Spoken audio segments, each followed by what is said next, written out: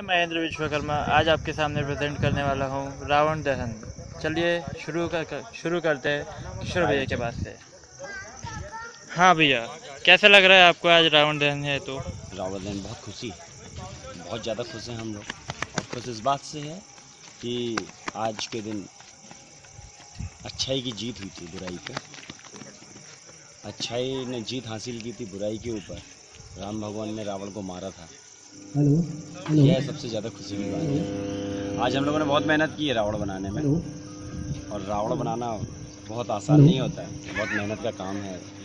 तो आप कितने लोगों की सहायता से ये रावण बना रहे हैं? लगभग 25 लोग लगे हुए हैं। दो दो दिन से कंटिन्यू बना रहे हैं हम लोग। और 24 घंटे काम कर रहे हैं चौबीस घंटे काम कर रहे हैं रावण बनाने में।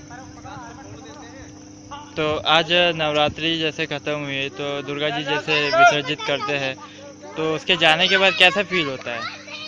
बहुत ही दुखी माहौल रहता है एक्चुअली माता रानी जब तक थी तब तक हम लोग बहुत हैप्पी थे खुश थे ऐसा लग रहा था कि यार सब कुछ भरा पूरा है।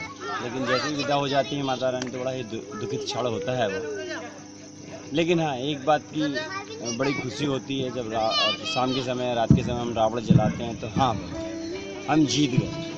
आज के दिन हम जीते थे सच्चाई पे।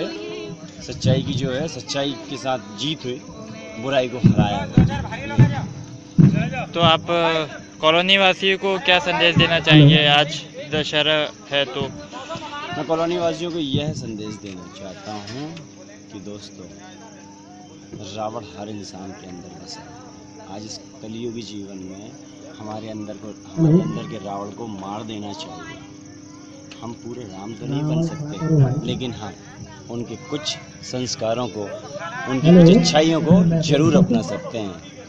तभी कहते हैं जय श्री राम। मर्यादा जय श्री राम। जय श्री राम। जय Shri Ram. Thank you thank you so much